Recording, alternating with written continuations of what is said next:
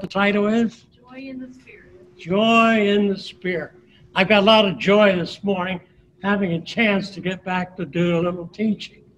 Thank you, Ken, for You're your, very welcome. your generosity inviting uh, not only me, but Rick the next week, and then the following week will be Jimmy. We're all going to be dealing in talking from Romans chapter 8. And I'm having the pleasure looking at the first part today. Uh, and we'll be looking at verses 1 through 4. 1 through 4 of chapter 8. And Ken has divided it in two parts. Uh, first, the first two verses, 1 and 2, no condemnation. And then the last two verses, Jesus paid it all. So it's pretty exciting lesson we're looking forward to. Uh, some of you know that uh, in addition to teaching uh, the class uh, here on some Sundays, one Sunday a month, I go over to what was Chambrel and now it's Brookdale and help Linda Grimes. Uh, Most of you know Linda. Linda's kind of a, a chaplain there. She teaches a women's Bible class. She has prayer meetings. She has a choir. And every Sunday at three o'clock, now I'm not sure they're not doing it right now, but in normal times, we have a, a service at three o'clock from three to four. Linda's in charge of that. And she invites, well, the same people come every month. Larry Davis is on the group, and I go. And, and uh, one thing when I started there, I thought, well, it's late in the afternoon. Maybe I better start with something humorous, a little story. And so I thought about some of the stories that Art Linkletter used. Remember Art Linkletter, some of you? Kids say the darndest thing. Well, along that line, let me share one of those. And I think I may have already shared it in my Sunday school class. So if I did, then just uh, you can listen anyway. Here's a story I shared with them. A little girl was talking to her teacher about whales. The teacher said it was physically impossible for a whale to swallow a human because even though it was very was a very large mammal, its throat was very small. The girl started stated that Jonah was swallowed by a whale. Irritated, the teacher reiterated what a whale could not swallow a human being. It was physically impossible. And the little girl said, When I get to heaven, I'll ask Jonah. And teacher What if Jonah went to hell? She said, Then you ask him. All right. uh, the joy title of the first part verses the first uh, we're going to read the verses together now. Take a look at eight. Um, okay. I'm going to read the first uh, let me read all four of them actually to start. Uh, we got one and two up there okay. There is now therefore no condemnation for those who are in Christ Jesus. For the law of the Spirit of life in Christ Jesus has set us free from the law of sin and death. For what the law could not do, not do weak, uh, three and four, okay. For what the law could not do, weak as it was through the flesh, God did, sending his own Son in the likeness of sinful flesh and as an offering for sin, he condemned sin in the flesh in order that the requirement of the law might be fulfilled in us who do not walk according to the flesh, but according to the Spirit. Now, the first two verses have to do, as we said, with condemnation. Now, notice as we begin the verse, uh, now therefore, and uh, uh, Jerry and I used to have a little thing going. Every time we were at a meeting and somebody used the word therefore, we'd say, one of us see what it's there for. And we'd go back and look. In this case, what is, what is it there for? It's there to go back to the previous uh, uh, things that Paul had to learn along the way. Let me move something here. I'll put this over here for a minute. Okay. now, uh, the therefore refers, we said, back to uh, Paul's previous experience, particularly in verse 7. Uh, see what, uh, remember, excuse me, um, he went back to, uh, and said, uh, regarding the life lived in the freedom and the spirit, versus a life lived under the law. Life under the law. now, um, we have a online helper that has prints material. And this time, uh, Dennis Parrott, oh, thank you. My Thank you. Excuse me for a minute.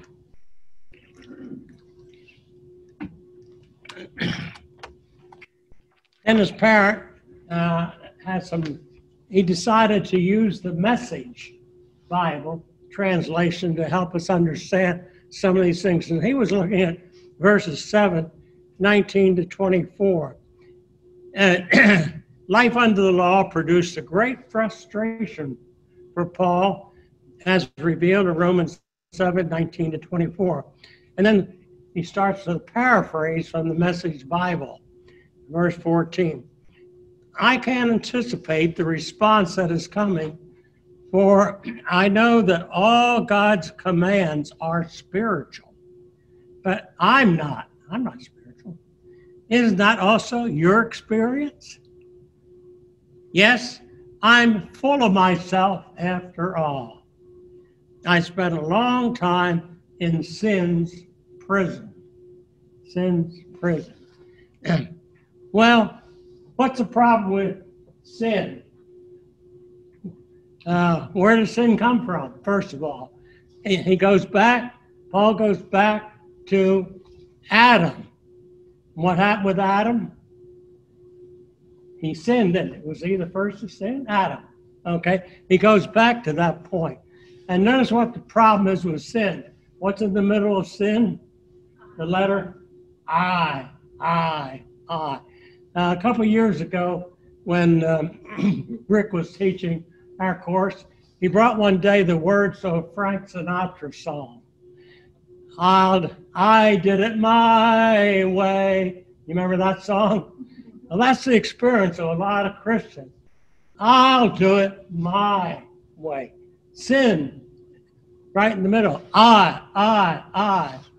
Remember the uh, poem Invictus says, I'm the captain of my soul. I'm the master of my yeah okay uh, and uh, there was a lady that wrote a parody that she changed it said christ is the captain of my soul christ is the master of my fate and that's the way it ought to be shouldn't it that, that's the way it is so you remember back in the early history of our country uh, education how were the children taught to read they didn't have dick and jane back in the colonial days and so forth, and with Spot and the things that we used to learn to read. But they had the old McGuffey reader, the McGuffey readers. And somebody wrote about the McGuffey reader. It taught millions to read, but not one to sin. Why didn't why did people why did not teach people to sin? because think about how it taught the alphabet we start A. A is for Adam. And in Adam's fall, we sin all. Isn't that good theology to teach the youngsters to start with? And that's what we get back to today in this particular thing. In Adam's fall, we sin all. And so that's it was pointing out, he said, I was in sin's prison. I was bound. I was tied up by sin. And he went on to say, Paul went on to share his frustration with because of this never-ending struggle uh, with sin. He said, uh, he said, I want to do the right thing. What happens? I do the wrong thing. I just can't get the victory. I, I, I. Then for um, the next quotation, uh, verse 17 in the Message Bible says, But I need something more, for I know the law, but still can't keep it. I can't keep the law. and if if the power of sin within me keeps me sabotaging my best intentions, I obviously need help. I realize I don't have what it takes. What hope do, do we have for help in this dilemma? I've tried everything, he said, and nothing helps. I'm at the end of my rope, and there is no one that can help me. And what did Paul, his conclusion in other versions? Oh, wretched man that I am, what? Who will deliver me? He's come to the end of his rope. He needs help. I can't live this Christian life, he says. Did God ever intend for us to live the Christian life? Not really. God provided something else. What did he provide? And what was Paul looking for here? And he says, Oh, wretched man, who will deliver me? What's the answer? Christ. Christ will deliver me. And the answer, thank God, is that Jesus Christ can and does. He acted to set things right in this life of contradiction, where I want to serve God with all my heart, but I'm pulled by the influence of sin to do something totally. He talks about a battle, a war taking place in the inner man. He wants to do right. That law, sin and death, puts him so that he's not able. And uh, he's pulled by this influence. And in chapter 8, uh, we'll discover what this like, how the help comes from Jesus. Thank God Jesus is there and he will do it. Now, let's look at verse 1 uh, again. Let me uh, come back here. There is, uh, therefore, now no condemnation for those who are in Christ Jesus. Now, no condemnation. That was the title that uh, Ken had for this section. And why do we have? Why don't we have condemnation? Go back to uh, the whole thing about sin and uh, Adam, and then uh, looking at the law. And so, what does Paul? What's he realized right in the very beginning about uh, Adam? In Adam's fall, we sin all that we're not able. There's no one who does righteous there's no, not one, not one of us is able to do righteousness, to keep God's law. And what happens as a result, result of that? There's a penalty for sin, isn't there? For the wages of sin is what? Death. Death. That's right. Death. so he learns some very important things here. Wages of sin is death. But the gift of God is eternal life through Jesus Christ. Okay, and so he got to that point then, the whole th- thing about the law, we're not able to do it, but Christ come and uh, send uh, as the only begotten Son, able to. Re- Why was he able to redeem us from the law? Because he was sinless. And we're going to talk about that in just a few minutes. Now, back there, there's no condemnation now for those who are in Christ. Next week, uh, our lesson will be on what it means to be in Christ Jesus. But we know basically what that means, don't we, from our own experience. Uh, someone has said, we enter this chapter with no condemnation. We close the chapter with no separation. And in between, all things work together for good for those who love God. And we're, three of us are going to talk about Romans 8, but nobody had that verse, so I thought I put it in here today. So that uh, that's where our joy comes from, isn't it? Knowing that all things work together for good, according to God's plan for He wants us to have plan. But he, when the law was given, did God expect the people to keep the law and get to heaven by the law? Just even keeping the law, did God expect us to be able to keep the law? No. What did he set up at the same time he gave the law?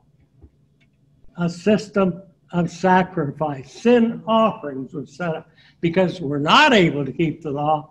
He set up the sin offering to take away the sin, to take away the condemnation that we're talking about here.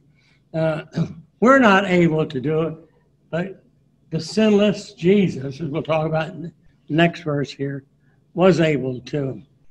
Now, uh, verse 2 For therefore the law of the Spirit and life in Christ has set us free from the law of sin and death.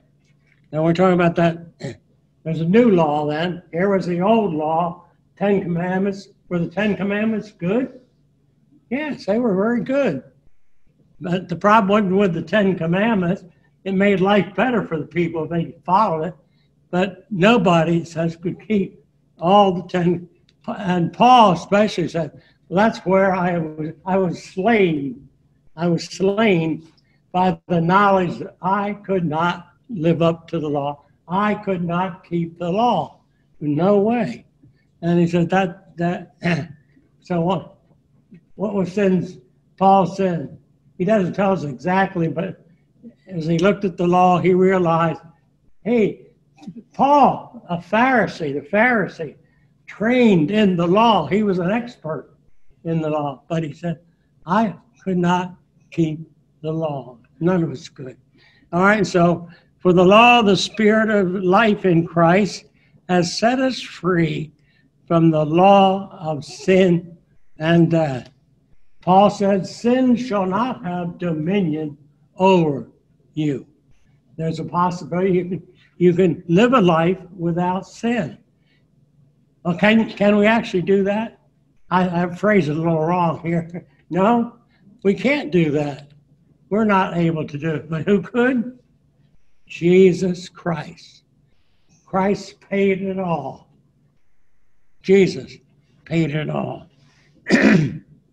so, about this power. For what the law could not do, weak as it was through the flesh, God did. And how did he do it? Sending his own son in the likeness of sinful flesh. What's the likeness of sinful flesh? When Jesus came, he came 100% God, 100% man, complete. But what was the one difference? He did not sin. And there's always a discussion. Was he able to sin? Or was he able not to sin? You know, that that discussion that uh, we had for a number of years. And but he did not sin, therefore he was without spot, without blemish, an acceptable gift. He paid it all. What can wash away my sins? Nothing but the blood of Jesus. What can make me whole again? Nothing but the blood of Jesus. Thank God for that blood. Jesus was able to there was that penalty sin. somebody had to pay. We couldn't pay it. We had no means. We're just poor. And so Christ uh, paid that penalty for us. and then uh, go on to verse 3 now. We're talking about how Jesus does it all. For what the law could not do, weak as it was through the flesh, God did, sending his own Son in the likeness. It looked like Jesus looked like everybody else, but he had the likeness of it. But the other part that was different from everybody else around him, he could not sin, and he did not sin. Um, Ken made the point somewhere along about the uh, proximity question about being near. Uh, If you were near Jesus, could you go to heaven just being near Jesus? Judas was near him, wasn't he? Did Judas go to heaven? No. Uh, he had another fate waiting for him. So the nearness, and Ken raised the point about is going to church. Is that is sure you're going to go to heaven? I heard him for uh, uh, Oprah Winfrey on several occasions say that, oh, God is a God of love, and surely He wouldn't send anybody to hell. That was her philosophy. But is that what the Bible teaches? No. And so uh, we had to realize that Jesus did pay it. okay, now verse 4 in order that the requirements of the law might be fulfilled in us who do not walk according to the flesh, but according to the Spirit. Uh, somebody, uh, one of the writers says he was glad that Paul didn't stop at Romans 7, never got to chapter 8, because we got some very important things. We add the Holy Spirit in the minute. Didn't have it in the verses, uh, chapters that preceded, it, but in this chapter we do. So, uh, the law might be fulfilled in us who do not walk according to the flesh, but according to the Spirit. Let me just read that, that section from uh, uh, the, the Living Bible and, and just kind of review what we've gone through so far. Verses 1 through 4. So there is now no condemnation waiting for those who belong to Christ Jesus. For the power of life giving spirit, and this power is mine through Jesus Christ, has freed me from the vicious circle of sin and death. The people of Israel just kept repeating sins. They couldn't uh, obey God when He said, obey the commandments. Even Adam and Eve couldn't obey the one commandment God gave them. They couldn't keep that. we are, aren't saved from sin's grasp by knowing the commandments of God because we can't and do not keep them. Yet God put into effect a different plan to save us. He sent his own son in the human body, like ours, except that ours are sinful and destroyed sin's control over us by giving himself a sacrifice for our sins. He was our sin offering, presented to the Father. His only Son, Jesus, came to die to free us from sin. So now we can obey God's law if we are led by the Holy Spirit and no longer obey the old evil nature within us. It's still there, and we struggle with it, as all of us know. I was talking a while ago about sin and I, I being the center. We need to take that I out of there and twist it around, and when then what it becomes not sin, but what we need is the Son. Be in Christ Jesus, which we're going to talk more about next week. um, we um,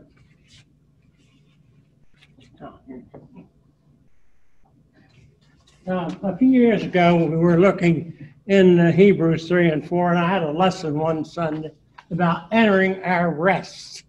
That's very important. And uh,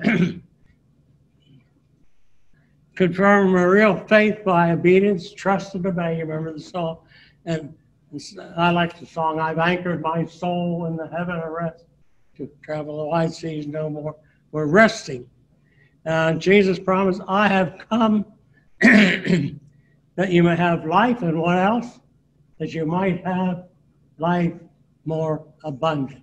So Phyllis and I, from the time we were married, always wanted to find the abundant life, always wanting to find the best that God had for. Us. That took us many places around the world and on search for the abundant life.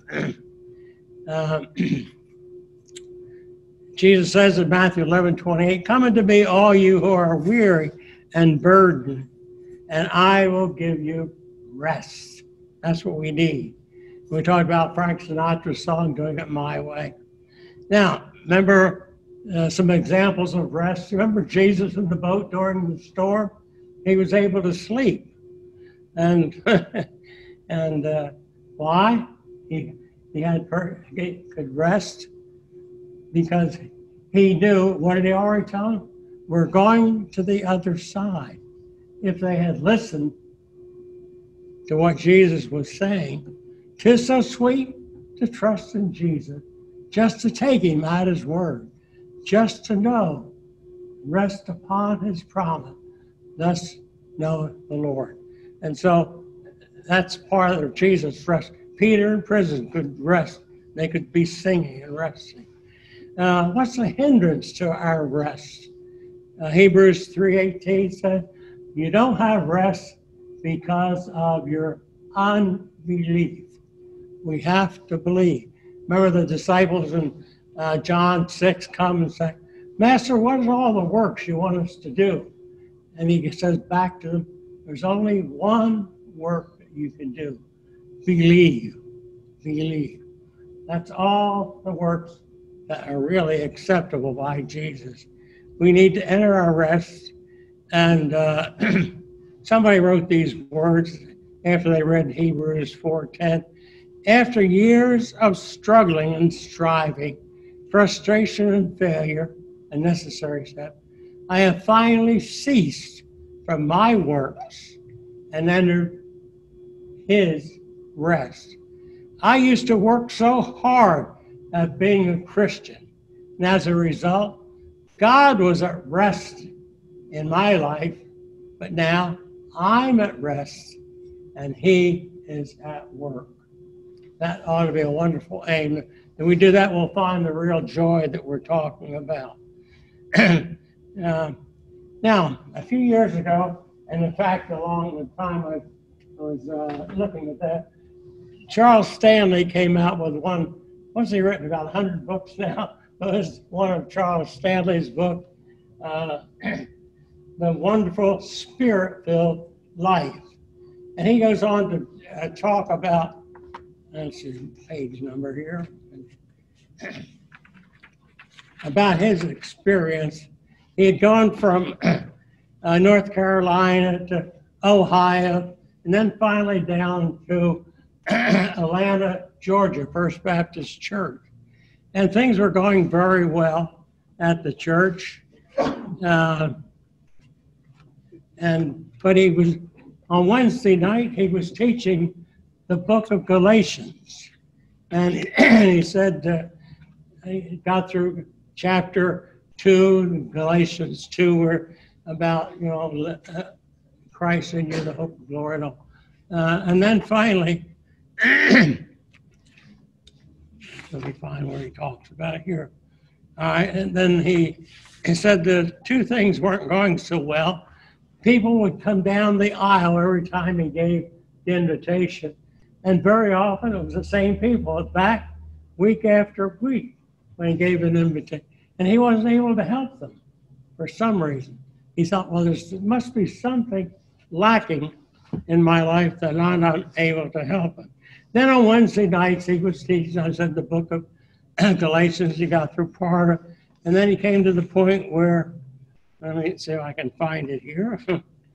there was one problem. As I looked ahead to chapter 5, I realized that in a few weeks, I would arrive at the passage that described the fruit of the Spirit. How can I preach on the fruit of the Spirit when I don't see much fruit in my own life? he said. I thought to compound the problem, there were those verses just before that describe walking in the Spirit. One more thing I knew nothing about. Here he was in the ministry many years. I, I don't know anything about the Spirit. you have on the back of your lesson leave all the names for the Holy Spirit, but there's one, I talked to Gene about this, they didn't put it down there, the Holy Ghost. And Gene said when, when he grew up, all the people around them talked about the Holy Ghost. We Baptists wanted to avoid the Holy Ghost. There was something scary about the term. And it kept, and that's probably what happened to him. But he said, uh, once again, my back was against the wall. I would be a little strange, it would be a little strange to skip the fifth chapter. And my conscience wouldn't uh, let me get up there and pretend to know something I didn't. So I started praying urgently, Lord, please open my eyes to the truth of what Paul is saying in these verses. Granted, my vocation was somewhat selfish. I didn't want to look like a fool, but at the same time, I knew I was desperately, and he said in parentheses, there's that word again, desperately needed a change in my life. And I felt sure the truth I needed was in the fifth chapter of Galatians. If the Holy Spirit could produce patience, gentleness, self control, I wanted in on that. So he talks about going out to one Saturday afternoon as he's struggling with this problem. And on his way out to his office out in the yard, he picked up the book. His wife had gone on a train trip a few weeks before. She got back and said, Charles, I think you ought to read this book. I think it would be a help to you. But he left it on the table. But this day, as he goes out the office, determined he wasn't going to come back out of that office so he got the problem resolved. Even he had to resign from the ministry, he had to get the problem resolved. So he got down, he writes in his diary, had flat on the floor, and he prayed. And, and after a while, he picked up the book got his wife ah, and it's a book called They Found the Secret. This one, one of our aunts and uncles in 1965 gave it to Phyllis and me as we were heading off to Africa. And we found it very enlightening. It's a story about 20 men and women who came to the same kind of crisis that Paul faced in his life when he said, Oh, wretched man that I am, who will deliver? They all come the same, these 20 people. And uh, so, I mean, and of course, the, the women are like Amy Carmichael, Frances Havergal, Eugenia Price, among the women included. Uh, but the book starts, the first chapter is about, it's called The Exchange Life. And uh, the one that is, is featured in that particular chapter is Hudson Taylor. Have you heard of Hudson Taylor? Hudson Taylor was a missionary to China through China Inland Mission. And as, as he went along in his work and his ministry, he came to that same point that Charles Stanley came to, that Paul came to, realizing, he said, I just can't live this Christian. I'm overburdened. I'm the head of the mission. They're giving me, and you've been there, you get to the point where all this is piling in on you, and suddenly you can't live the Christian life. And so he wrote to a friend uh, telling him about this, his difficulty and uh, how he was thinking about resigning as a missionary and going home, just giving it all up.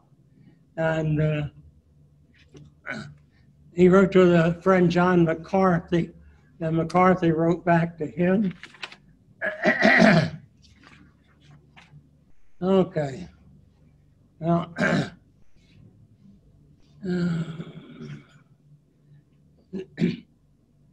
now uh, the author of this was uh, the president of Wheaton College, uh, Raymond Edman and uh, Billy Graham uh, was there with them at, uh, uh, actually did the funeral for the, the author of this book. But he too was a missionary. That's a story for another time. Anyways, he got, uh, he started reading the, uh, uh, writing a letter to his friend about he might give up. The friend back to, you've come to just the right place, and this is good news. If you realize you can't live the Christian life, you come to a place that God wants you to be because you can't, we can't live the Christian life. We can't do it. God didn't intend for us to do it. He intended for us to turn it over to the Holy Spirit. Turn it over and let the Spirit guide you. And as Charles uh, says, as he re- realized this, that's the way he came to, uh, he said, When I finished reading the section of Hudson Taylor, I dropped to my knees there on that cold concrete floor and began to cry. I was so happy. Joy, we're talking about. I was so happy. I kept thinking, this is it. And then he went on to uh, go a little bit beyond that uh, portion. He came to the section where it talked about the vine and the branches of John 15. And uh, he said, um, he says, this is the vine. The vine does the work. The fruit is produced by the sap. He said he was trying to produce this in his own life. But can we produce the love, the joy, the peace? Can we produce the fruits of the Spirit? No, we can't. Pro- Who produces it? The fruit of the Spirit.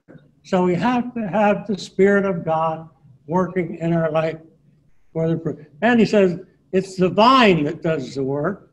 The fruit is a product of the sap that runs from the vine into the branch. I couldn't get over the fact that the Holy Spirit was willing and able to produce through me the very fruit I had been trying so hard to produce in my life. It's, it's not we producing, he gets on talk about bearing fruit.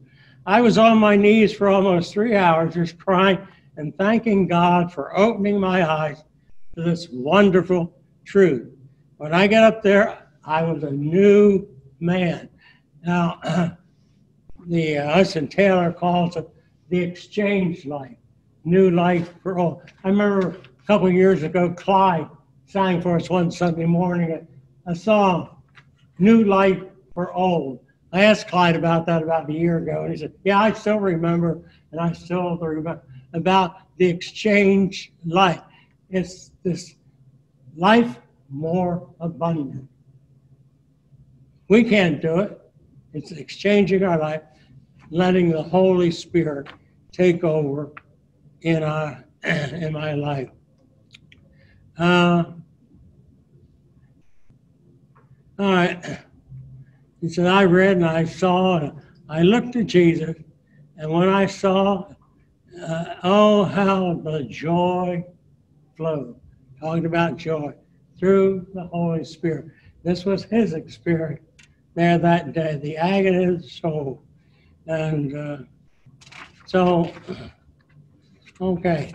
Anyway, that was his experience, and he went back.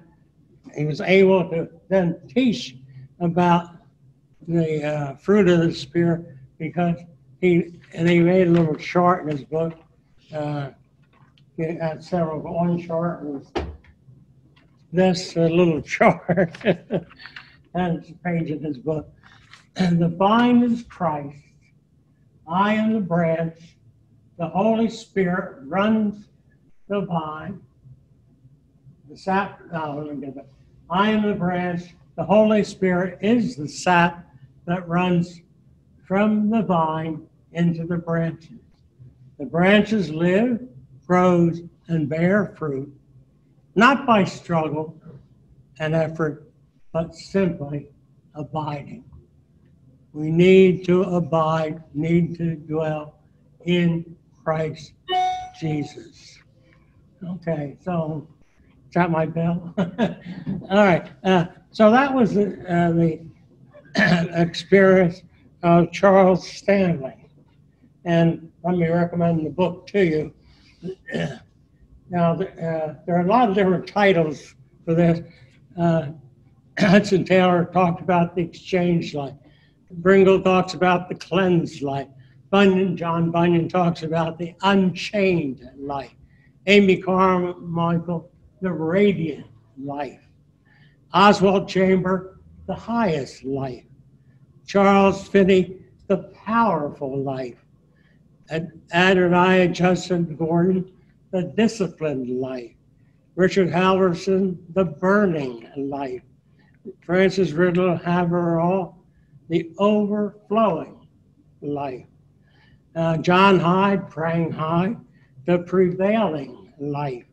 Dwight L. Moody, the dynamic life. Handley Moule, the fragrant life. Andrew Murray, the abiding life. Robert Nichols, the satisfying life. William Nicholson, the soul winning life. Eugenia Price, the buoyant life.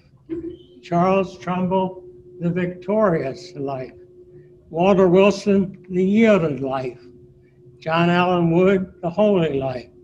And Major Ian Thomas, the adventurous life. I had the privilege of meeting with uh, the last one, Ian Thomas, when he came to Dallas for a meeting a few years ago. And he invited us over to a hotel to, to spend some time with him and discussing these things. He's talking about his adventurous life. Well, that's where we are. If you're looking to find real joy, uh, when I first came to Dallas as principal of the Dallas Christian School, the kids sang songs and when we had our chapel once a week. And one that I liked very much was the song, Jesus, Others, and You. Jesus, Others, and You. What a wonderful way to spell joy. Put yourself last and find real joy. You want joy in the Lord? Put yourself last and find real joy. Okay, so that's uh, a few things I wanted to share with you. Do you have some questions? Remember Paul in uh, Romans 12? I beseech you, brethren, that you present your bodies a living sacrifice, holy, acceptable, and be transformed. How? By the renewing of your mind. And that was part of it here in the lesson today. The mind. We're going the mindset. And Paul say, what was the mindset? You do, you keep the law. Do, do, do. You got work to do. And the other mindset was not because I have to, but because I want to. And that's what the Spirit offers a chance to want to do the thing that pleases the Lord. We can't do it in our own strength. We have to come to an end of self, find that exchange life where we got new life in Christ Jesus through the Holy Spirit that lives in us and dwells within us. Ken, can I turn it back over to you? Any other announcements that need to be made this morning? Um, I'm thinking through what's coming up. We do have the Thanksgiving dinner that will be, thank you, that will be coming up uh, on November the 22nd. We're doing it entirely different this year than what we have done in the past. Uh, it will be an outdoor event. Uh, there is no cost uh, because they're not going to do any kind of a an entertainment or guest speaker or anything like that, as it's sometimes been in the past. This is strictly a, a family dinner uh, for the uh, for our church family and for our guests. So the one thing we do ask is if you are planning to come, uh, please sign up. There is a sign up sheet available here on the table if you want to do that, or if you want to just contact the office sometime in the, this week or coming weeks. Uh, the food service committee just needs to have a number in mind so they know how many to prepare for. So uh, that event is coming up. Where will it be? Right out here? Somewhere outside. Do we need to bring chairs? Uh, I, I, think that's going to be taken care of, but uh, tables and chairs are going to be set up for us. Uh, so I don't think you'd need to do that. But that'll be immediately after the morning worship service on the 22nd. any other announcements that y'all know about that we need to discuss? Well, if not, let's go to the Lord in prayer. Holy Father, we thank you for the reminder you have given us this morning about the importance of abiding in you, of allowing your spirit control in our lives. Help us, Father, to allow our minds to be reshaped by your spirit. Allow our lives to be transformed by the Spirit's power. Help us, Father, to be open to your guidance, your direction, your leadership in our lives today and in all the days to come. Now, Father, we ask your blessings upon the worship service that follows. Pray, God, that you would just be with us, that you would prepare our hearts even now for the message you have for us. Lead us and guide us. Make us more like Jesus. For it's in his name we pray. Amen. See y'all.